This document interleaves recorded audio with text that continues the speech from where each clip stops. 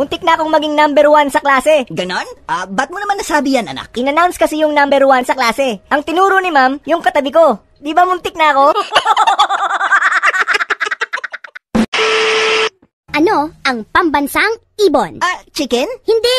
Kulay brown ito. Ah, fried chicken? Hindi. Mas maliit ito sa chicken. Chicken cubes, ma'am? Get out!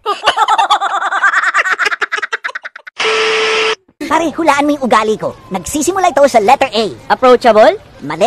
Amiable? Mali pa rin. Oh, sige. Sirit na. Okay, honest.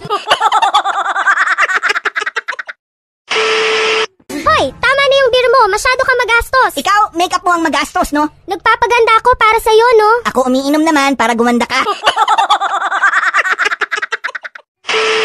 Dok, may sakit ata ako. Ah, halika, tingnan natin. Umubo ka. ubo pa, ubo pa. okay. Ano pong sakit ko, Dok? Ah, may ubo ka. Pare, galing ako ng doktor. Nakabili ako ng hearing aid. Grabe, ang linaw ng pandinig ko. Talaga? Magkano bili mo? Kahapon lang.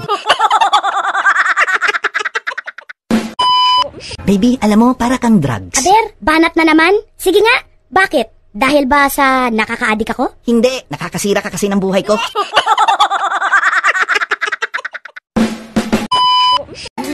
Taksil! Nakita ko may kasama kang babae sa mall. Holding hands pa kayo.